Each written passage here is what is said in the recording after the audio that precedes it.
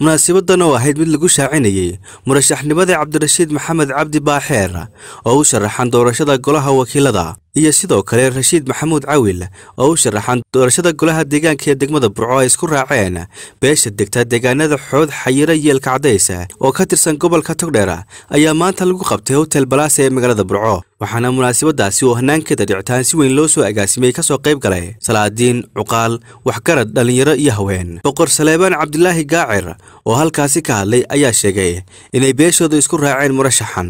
Haddaannu raage maxamedna waxaannu u soo gudbinnay warkayagaa isagoo macaa xeerkii leh oo aad nagu ogaanaysaan. Labada aannu siinnay ee oomanaa waa labadaa jiliboo ninkaa sokona. Waxaa la ydhahaa rashiid maxamuud cawad. Ninka shishana cabdirashiid maxamed baaxeer baa la yidhaahdaa. Wixii kale ee hadhowta soo baxa annagu shaqo kuma lihin. Ee la arko ama xusbi arko ama tulweyne arko. Cuqaasha iyo aniga iyo wax iyaguba sidaasaan isu ognahay suldaanka guud ee beesha axmed faarax gaashaabuur axmed faarax iyo guddidiisa iyo dadweynihiisa iyo gobolka. Waxaannu soo gudbinaynaa baaqeega noocaasa sidaasaa nugu ogaa suldaan maxamuud guuleed suldaan xasan mataan iyo cuqaal iyo waxgarad halkaasi ka hadlay ayaa soo dhoweeyey go'aanka ay beeshan isugu raacday murashaxiintan raggan la soo cimaamadee musharaxiinta laga soo dhigay waa raggaan anigu garanayo waa aad iyo aad baan ugu kalsoonahay. Xilkaa loo igmaday waxaan rajaynayaa inay ka soo bixi doonaan oo aad uga soo bixi doonaan. Waa baarigayaa dardaaran ma laha oo dee ninku markuu xilka helaa lala dardaarmaaye ninaan xil hela lama dardaarmine waxay mudan yihiin duco iyo soo dhowayn maanta sayladda waxaa soo joojiseen laba nin oo muddo karaa oo dalka iyo deegaanka iyo diintaba wax u qaban kara ayaa keenteen. Sidii ballanku ahaa inaannu ka guddoonnay beesha raage maxamed musharaxiintii ay u soo sharaxeen golayaasha wakiilada iyo deegaanka. Waxaan ku talinayaa in lagu dadaalo oo wixii dambe ee aynu soo saarayna lagu dadaalo in cadaaladna cadaaladana la sugo oo ciddii qatan wax la siiyo.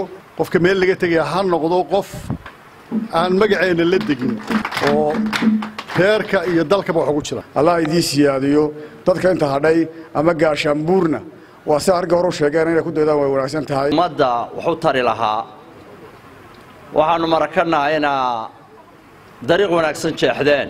Maayirka degmada burco ustaad maxamed muraada iyo xubno kaleoo iyaguna halkaasi ka hadlay ayaa la dardaarmay murashaxiintan.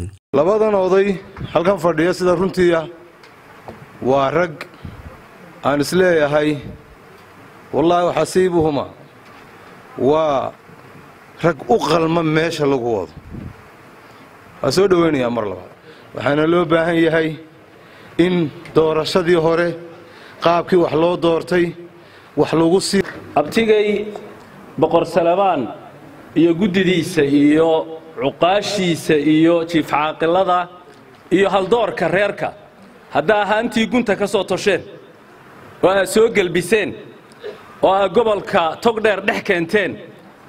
Dee waa guul weeye anigana sharaf bay waanan u ducaynayaa waanan la dardaarmayaa dee sheekh cabdirashiid maxamed cabdi baaxeer dee dhinacna abti baan uga hayo dhinacaana waan ka faraxsanahay.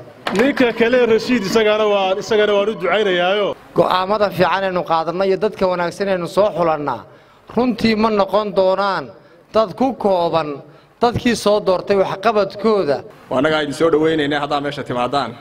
Waxaa laydinka baahan yahay waa in laydinka helaayo wanaaga. Dhibaanadii u soo kala xuleen waannu ugu hambalyaynaynaa waana laga filayey. Sidii rag horeba halkan ka sheegay inay hormuudka iyo taladaa leeyihiin waa la filayey.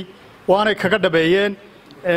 Intayada kalena waxaa ku waajiba inaannu idinku hambalyayno aad iyo aad baannu arrintaa idinku hambalyaynaynaa wayna ka adag yihiin hawsha loo soo igmaday raggii ka bixi lahaa weeye. Waa raggii horumarka keeni lahaa weeyaan is leeyahay. Ugu dambayntiina murashax cabdirashiid baaxeer iyo sidoo kale. Murashax rashiid maxamuud oo halkaasi ka hadlay ayaa ka dareen celiyey xulashada iyo taageerada ay u muujiyeen beeshoodu. Waxaa la ii soo doortay inaan isu sharaxo golaha wakiilada. Sidaa uu sheegay guddoomiyaha rugta ganacsiga golaha wakiiladu wuxuu noqon doonaa ma insha allahu taala saaxiibada kale ee sanadkan la soo xuli doono insha allah aan rajaynayno xadhigga isku xidha gobolkan iyo dowladda dhexe. Ee la mariyo baahida gobolka. Cabashooyinka faraha badan ee gobolka togdheer ee aad mooddo mooji cid lala hadlayay aynu maqlayna intaasoo sannadood. Ilaahay idinkii waxaan rajaynaynaa inaan noqonno kuwo aan mahmaahdii ahayd niman inta la doortay iska tagee inaannu gobolka togdheer xarun ka dhiganno. Waxaa ii qorsho ah insha allah inaan xeer hoosaadka golaha wakiilada lagu daro ninka gobolka ka shaqayn waaya in la casilo oo la soo dacweyn karo oo xeer hoosaadka lagu soo daro. Aanu noqonin nin hargeysa iska fadhiista. Aniga ballantaasaan ku qaadaya insha allahu tacaala haddii aan ku soo baxo inaan ka shaqeeyo adeega iyo isku xidhka gobolka iyo dowladda dhexe. Qiimaha iyo qaayaa leh ee aad noo soo qiimayseen ee aad noogu timaadeen ayaan idinka mahadnaqaynaa. Maanta waxaanu idinka baanahay duco shaafici maxamed ibraahim telefishinka caalamiga ee somaali kabel magaalada burce xarunta gobolka togdheer